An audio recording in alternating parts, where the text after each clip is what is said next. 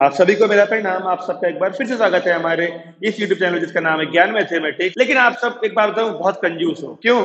आप लोग यार फ्री की चीज़ भी शेयर नहीं करते हो। अगर हर बच्चा केवल अपने दो या तीन दोस्तों को शेयर करे ऑटोमेटिकली ये बहुत ज़्यादा लोगों तक पहुँच सकती है। हमारी मेहनत आपको पसंद आ रही हो तो सब्सक्राइब और लाइक करना ना भूलें। तक दो पार्ट हम लोग आपके लिए बना चुके हैं। उन दो पार्ट में हमने क्वेश्चन नंबर पंद्रह तक कवर कर लिए थे। आज क्वेश्चन नंबर सोलह से लेके फिर से दस क्वेश्चन कवर करेंगे, यानी कि पच्चीस तक फिर से जाएँगे। क्वेश्चन नंबर सोलह में हमसे कह रहा है एपी दी है। अब सम निकालने वाला काम है, मैं समझता हूँ कि आप लोग ये मुझसे तेज कर सकते हैं।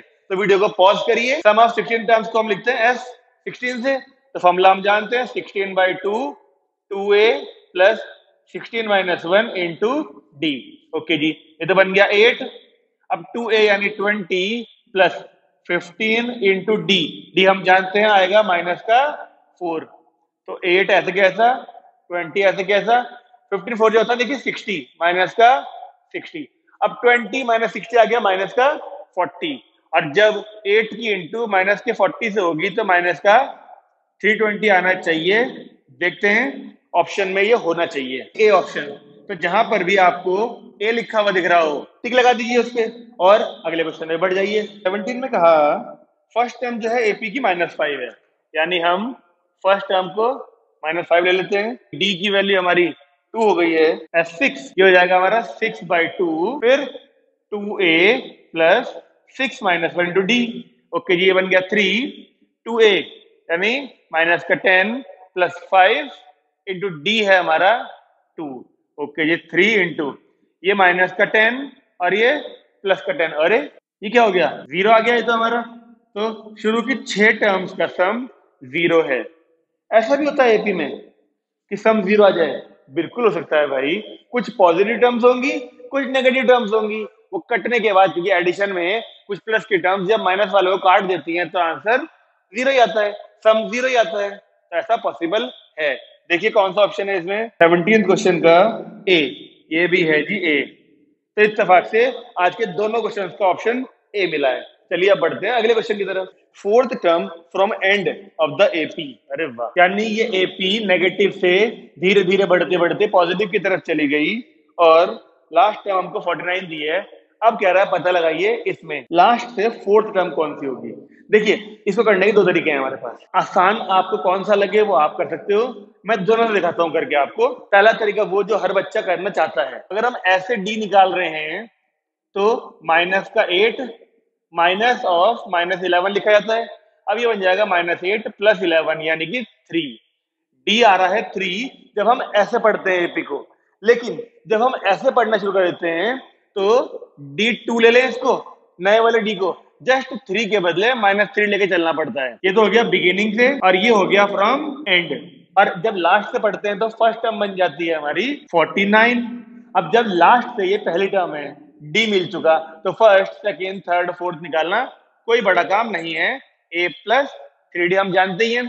तो ए की वैल्यू देखिए, हमारी है 49 थ्री की डी में इंटू करें तो आएगा माइनस का नाइन यानी 40 देखिए लास्ट से जो फोर्थ टर्म होगी, वो होनी चाहिए 40 ऑप्शन दिख रहा है कहीं यहाँ पे देखिए बी तो जहाँ पर बी लिखा दिख रहा है बी उस पर टिक लगा दीजिए। अब एक तरीका और है हमारे पास इस क्वेश्चन को करने का। हम पहले निकालते हैं कि इसमें टोटल टर्म्स क्या हैं और फिर एक नया फॉर्मूला देखेंगे हम। टोटल टर्म्स निकालने के लिए इसको ए लेना पड़ता है।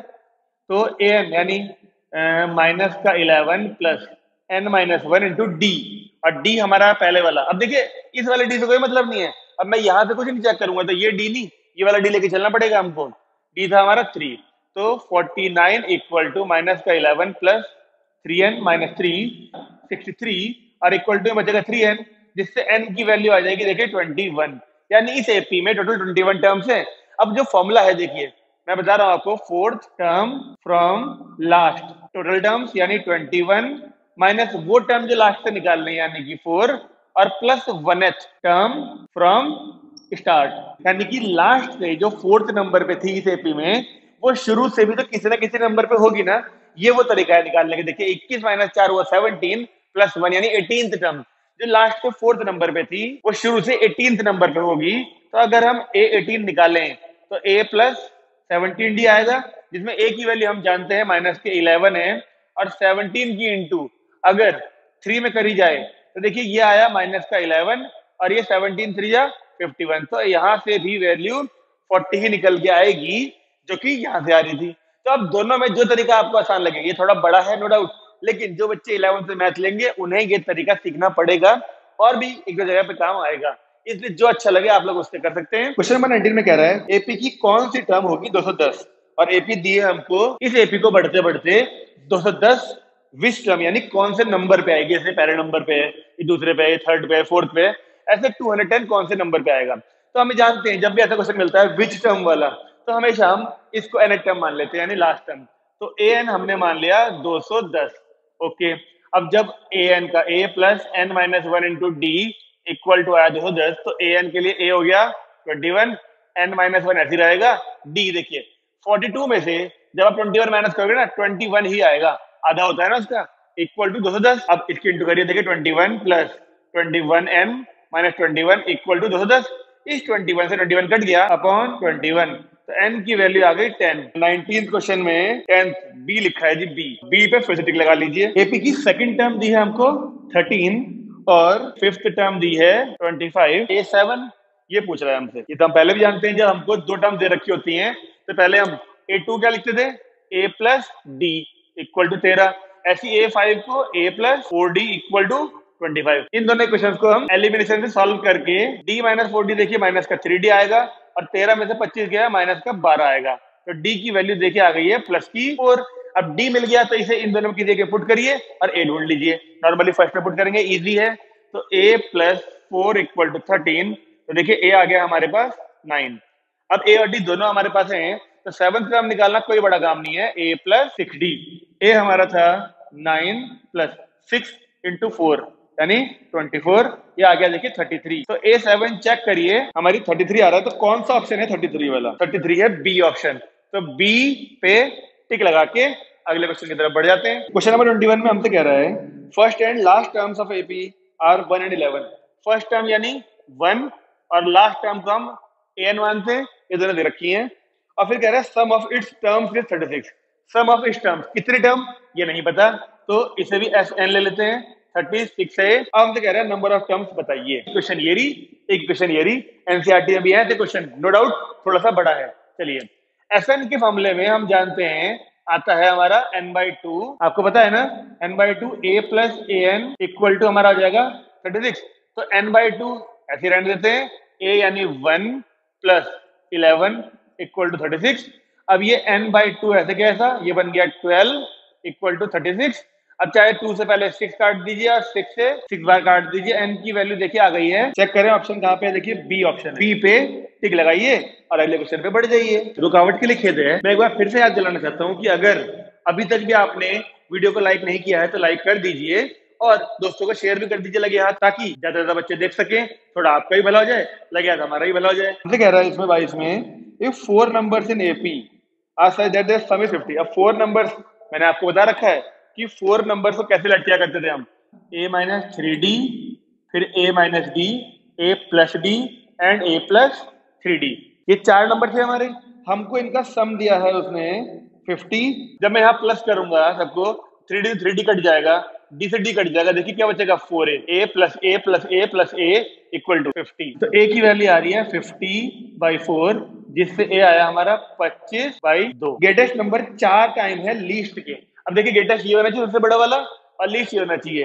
तो ग्रेटेस्ट नंबर यानी a plus three d is four times of least a minus three d चलिए a plus three d is equal to four a minus twelve d अब इस ट्वेल्व डी को जल लाए तो ये बन जाएगा फिफ्टीन डी और इसको जल लाए तो three a a is equal to five d अब ए देखिए ए की वैल्यू डाली जाए, पच्चीस बाई दो is equal to five d इससे कट गया पाँच बार तो डी की वैल्यू भी आ गई है फाइव बाई अब हमारे पास ए भी है और हमारे पास डी भी है। अब सारे नंबर्स के लिए देखिए, पहला नंबर था ए माइनस थ्री डी तो ए माइनस थ्री डी के लिए ए ये रहा पच्चीस बाई दो माइनस थ्री डी इसमें थ्री की इंटू करेंगे तो फिफ्टीन बाई टू आएगा। पच्चीस माइनस पंद्रह, ये हो जाएगा दस बाई दो, यानी फाइव पहला नंबर आ गया। अब second number a minus d a हमारा था twenty five by two minus d five by two twenty upon two यानी कि टेन आ गया अगला। फिर है ए प्लस डी यही पच्चीस प्लस थर्टी चलो लिख देते हैं। पच्चीस बाई दो प्लस पाँच बाई दो, ये फिफ्टीन आ जाएगा। और ए प्लस थ्री डी है अगला नंबर ए यानी twenty five by two plus का थ्री इंटू डी यानी फिफ्टीन बाई टू देखिए पच्चीस प्लस पंद्रह फोर्टी अपॉन टू यानी ट्वेंटी पाँच, दस, पंद्रह, बीस। चेक कर लेते हैं, ऐसा कौन सा ऑप्शन है? ये तो ए है। तो आपको ए ऑप्शन यहाँ लिखा हो, उस पर टिक लगाइए। और अगले क्वेश्चन में बढ़ जाइए। अभी जो हमने क्वेश्चन किया है, इसमें हमने एक बात नोट करी कि जो ए आया था और डी आया, दोनों फ्रैक्शन में आए। जबकि नॉर्मली ऐसा नहीं होता। अगर आप लोगों को अपने ऊपर कॉन्फिडेंस है कि हाँ हमने जो चार नंबर ऐड किए हैं, वो सही है कैलकुलेशन ठीक है हमारी तो क्वेश्चन फ्रैक्शन में आ रहा है, आने दो। आपने बात नोट करी ए और डी दोनों फ्रैक्शन में आए, उसके बावजूद भी एपी में फ्रैक्शन नहीं था।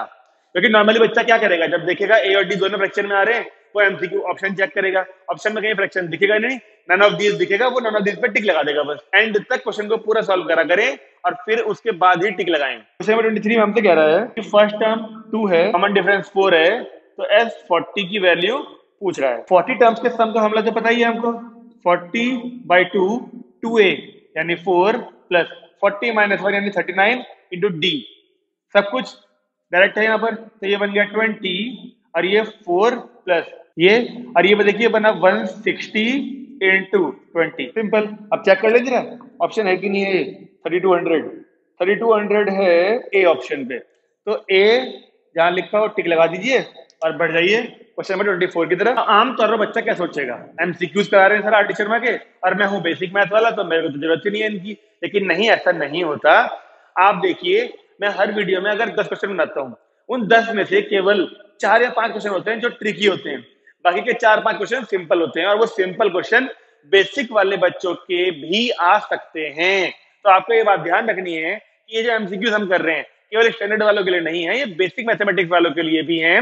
तो शेयर करते वक्त ये ध्यान रखिए कि बेसिक मैथ वाले बच्चे ज़्यादा होते हैं, उनको भी मैथ में नंबर अच्छे चाहिए तो शेयर उनको भी करिए। इसलिए ये वीडियो हमारे बेसिक और स्टैंडर्ड दोनों तरह के बच्चों के लिए है। जो बच्चे ये वीडियो को स्किप करके देखेंगे, वो बच्चे बहुत सारी इंपॉर्टेंट बातें स्किप ही कर देते हैं, उन्हें पता ही नहीं चलता कि बीच में हम जो इंपॉर्टेंट बातें शेयर करते हैं आपसे, वो क्या थी। इसलिए स्किप ना करें, पूरी देखें वीडियो को और लास्ट तक देखा करें। कुछ ना कुछ बात काम की ज़रूर मिलेगी आपको। एक एपी दी है three seven eleven fifteen and so on और इसका सम दिया है फोर हंड्रेड सिक्स यानी कि एस एन दिया है हमको फोर ज़ीरो सिक्स तो नंबर ऑफ़ टर्म्स पूछ रहा है, यानी कि एन की वैल्यू अब हम जानते हैं सम का फॉर्मूला हमारे पास है n by two two a यानी six plus n minus one two d d आएगा हमारा फोर और ये हमें फोर ज़ीरो सिक्स दिया है। देखिए क्वालिटी क्वेश्चन बनने वाली है, इसमें ध्यान रखिएगा। तो एन बाई टू ये सिक्स प्लस ये फोर एन माइनस फोर आएगा equal to four zero six तो n by two six minus four two आएगा, और ये प्लस का four n equal to four zero six अब यहाँ से टू कॉमन लेके हम इस टू से काट सकते हैं। तो बच्चे का क्या यहाँ पे? देखिए एन और यहाँ बचेगा वन प्लस टू एन, बराबर फोर ज़ीरो सिक्स। अब ये इसकी इंटू हो तो टू एन स्क्वायर, पहले लिख लेते हैं, फिर प्लस का एन लिख लेते हैं, और माइनस का फोर ज़ीरो लिख लेते हैं, बराबर ज़ीरो। पहले फोर ज़ीरो सिक्स से फैक्टर करते हैं, टू से चलो, कोई बात नहीं है। तो टू ज़ीरो थ्री। अब ये दो सौ तीन जाएगा, टू से नहीं जाएगा, थ्री से नहीं जाएगा, फोर से नहीं जाएगा, फाइव से नहीं, सिक्स से नहीं, सेवन से आता है, सेवन में लास्ट में थ्री आता है। तो सेवन, टू जा फोर्टीन, बचेगा सिक्स, और सिक्सटी थ्री सेवन, नाइन जा सिक्सटी थ्री अब ट्वेंटी नाइन प्राइम नंबर है तो ये बन हो गया। तो फैक्टर आए टू सेवन ट्वेंटी नाइन और एक साथ में ये टू भी था। तो अब हमें ऐसे ढूँढने हैं फैक्टर जिनकी मल्टीप्लाई करके तो ये दोनों आ जाए और माइनस करके केवल आए वन अब वन लाने का मतलब देखिए कॉन्जिक्यूटिव नंबर हो जाएँगे। कॉन्जिक्यूटिव मुझे दिख रहा है साथ में। ट्वेंटी नाइन है ही है और सेवन टू जा फोर्टीन और फोर्टीन टू है ट्वेंटी एट तो फैक्टर आया हमारे ट्वेंटी नाइन और ट्वेंटी एट फैक्टर हम ढूंढ चुके हैं twenty nine and twenty eight तो क्या लिखा जाएगा पहले? Twenty nine minus twenty eight into n और माइनस का फोर ज़ीरो सिक्स बराबर ज़ीरो ओके तो टू एन स्क्वायर पहले आया, देखिए ट्वेंटी नाइन एन माइनस का ट्वेंटी एट एन माइनस का फोर ज़ीरो सिक्स बराबर ज़ीरो यहाँ से हमें कुछ नहीं कॉमन मिलेगा सिवाय एन के. तो बचेगा two n plus twenty nine fourteen common बचेगा हमारा टू एन प्लस फोर्टीन से ट्वेंटी नाइन बार इंटू करें तो पक्का ये फोर ज़ीरो सिक्स ही आएगा। तो एक बच्चा एन माइनस फोर्टीन और एक बच्चा two n plus twenty nine बराबर ज़ीरो यहाँ से एन की वैल्यू नेगेटिव आएगी, इसलिए पॉसिबल नहीं है। यहाँ से एन की वैल्यू प्लस की आएगी तो यही आंसर होना चाहिए। चेक करते हैं फोर्टीन आंसर में है। डी पे लिखा हुआ है तो हमारा डी पे टिक लगा दीजिए और आगे बढ़ जाइए। देखिए कुछ क्वेश्चन ना, हमें देखने पर ऐसा लगता है कि बहुत सिंपल है। लेकिन, वो एक्चुअली में सिंपल होते नहीं। जैसे अभी क्वेश्चन हमने किया, इसमें हमने देखा ना कि सिंपल सम ही तो था और एन निकालना था। तो हमें पता था क्वालिटी क्वेश्चन आएगी सॉल्व कर लेंगे। लेकिन, जब क्वालिटी क्वेश्चन आई तो उसमें वैल्यू आई फोर ज़ीरो सिक्स फैक्टर करने पर टू ज़ीरो थ्री अब बच्चे बहुत सारे यही पे गलती कर देंगे, क्योंकि उन्हें लग रहा था कि फैक्टर बड़े आराम से हो जाएँगे। लेकिन कभी कभी सिंपल क्वेश्चन के अंदर वैल्यू आसान आने वाली है कि डिफ़िकल्ट आने वाली है, वो उसको करने के बाद ही चलता है, पता? इसीलिए कहते हैं, मैं कि मैथमेटिक्स में क्वेश्चन को केवल देख के मत आगे बढ़ो, उसे करो। आप इतने क्वेश्चन कर चुके हो कि आपको ऑलमोस्ट हर तरह की समस्या का पता हो पहले से। तभी आप क्वेश्चन ऊपर ही ऊपर चला करो। अदरवाइज़ जितने ज़्यादा क्वेश्चन हो सके, उतने की प्रैक्टिस करो। अब इस क्वेश्चन में किसको मालूम था कि ऐसी क्वालिटी क्वेश्चन आएगी, इसके फैक्टर ढूँढने मुश्किल हो जाएँगे। अगर आपको टेबल्स याद होंगी डिविजिबिलिटी रूल याद होंगे सबके तो आपको क्वालिटी क्वेश्चन में तकलीफ़ नहीं आएगी। आज की वीडियो का लास्ट क्वेश्चन कर लेते हैं। ट्वेंटी फिफ्थ क्वेश्चन में कह रहा है, देखिए, इस पूरी सीरीज़ का हमको एंड टर्म्स तक का सम चाहिए। रूट एट में से रूट टू माइनस नहीं हो सकता। तो मैंने पहले ही आपको बोला है, मैं फिर बोल रहा हूँ रूट के अंदर हमेशा प्राइम नंबर होने चाहिए। तो ये तो रूट टू ही रहेगा। इसे लिखते हैं हम two root two root eighteen का फैक्टर करें तो थ्री थ्री टू आएगा नाइन टू एटीन उसमें से एक थ्री बाहर निकलेगा रूट टू बच जाएगा। अब ये रूट टू है टू रूट टू है थ्री रूट टू उम्मीद है फोर रूट टू आना चाहिए। तो सिक्सटीन टू थर्टी टू होता है ये। अब सिक्सटीन का फोर बाहर आ जाएगा रूट टू बच जाएगा एंड सो ऑन अब देखिए, वो एपी और इस एपी में बहुत अंतर है। क्योंकि इस एपी की फ़र्स्ट टर्म रूट टू है, और common difference two root two में से रूट टू जाएगा तो रूट टू ही आएगा। हमको सम ऑफ़ एन टर्म्स चाहिए था तो एन बाई टू फॉर्मुला लिख देते हैं two a plus n minus one into d देखिए रूट वाले क्वेश्चन आते ही थोड़ा सा स्पीड कम रखा करें क्वेश्चन की। ब्रेक लगा लगा के चला करें। हाँ जिन बच्चों का ये सेक्शन अच्छा है, वो आगे नॉर्मली चला सकते हैं गाड़ी अपनी। तो n by two two a यानी two root two plus n minus one into d d देखिए आएगा हमारा रूट टू तो ये एन बाई टू ऐसे कैसा ये टू रूट टू भी ऐसे कैसा ये बन गया एक रूट टू एन और माइनस का root two two root two में से रूट टू जा सकता है तो एन बाई टू ऐसे चल रहा है हमारा ये बचेगा root two plus root two n इन दोनों में से रूट टू कॉमन लें और बाहर लाएँ तो root two n upon two ऐसे कैसा और एन प्लस वन अब अब इस रूट टू से रूट टू कट करना है कि नहीं करना ये बात डिसाइड करेगी हमारे ऑप्शंस देख के। चेक करिए। ए में देखिए कहीं रूट नहीं है, क्योंकि इससे कटेगा तो रूट आएगा। बी में भी रूट कहीं नहीं है, लेकिन सी में अपॉन रूट टू है। अगर मैं इस सेज को कट करूँ तो अपॉन रूट टू आएगा। तो सिंप्लीफाई होकर क्या बनेगा देखिए एन इंटू में एन प्लस वन और इससे कटा तो वन अपॉन रूट टू तो सी ऑप्शन बिल्कुल ऐसा ही होना चाहिए n into n plus one upon root two तो सी पे टिक लगाइए, और ये देखिए कि आज हमने टेन क्वेश्चन कवर करे। आपने ये पैटर्न तो नोट कर ही लिया होगा कि मैं कोशिश कर रहा हूँ कि एक एक दिन छोड़ के वीडियो लाई जाए आपके लिए, क्योंकि स्कूल से भी आप लोगों को बहुत काम मिलता है, आप लोगों की कोचिंग का भी बहुत काम होता है। तो कोशिश हमारी ये है कि आपको एक दिन दिया जाए दस क्वेश्चन के लिए, लेकिन आप लोग की ज़िम्मेदारी ये बनती है कि आप उस एक दिन के अगली वीडियो आने से पहले इन दस क्वेश्चन को कवर कर लें। जितना ज़्यादा आप नोटबुक नोट करेंगे, उतनी आपको हेल्प मिलेगी, क्योंकि अभी आप नोट करते रहिए करते रहिए करते रहिए सेपरेट नोटबुक में। और जब एग्ज़ाम आएँगे तो आपको केवल और केवल रिवाइज करना होगा उस नोटबुक को।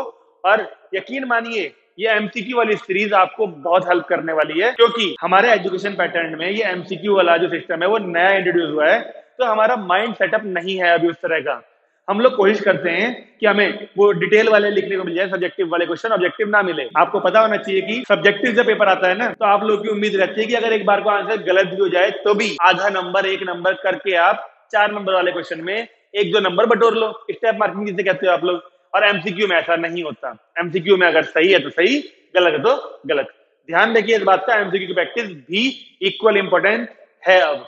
इसलिए वीडियो को देखते रहिए लाइक करिए शेयर करिए और स्वस्थ रहिए। चलिए आज के लिए काफ़ी है, फिर मिलेंगे आपसे अगली वीडियो में। नमस्कार।